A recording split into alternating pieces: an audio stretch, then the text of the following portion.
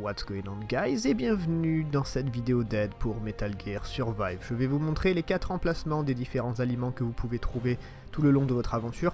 Évidemment, il va avoir des spoilers, donc vous avez les tomates, le maïs, les patates et les oignons. Dans tous les cas, j'espère que ça vous sera utile. A noter que je fais beaucoup de coop en ce moment sur Twitch, donc si vous êtes curieux de voir de la coop à 4 joueurs sur Metal Gear Survive, je vous invite à aller regarder ma chaîne Twitch, tous les liens sont dans la description. Ce sera tout pour cette intro, maintenant suite à la vidéo.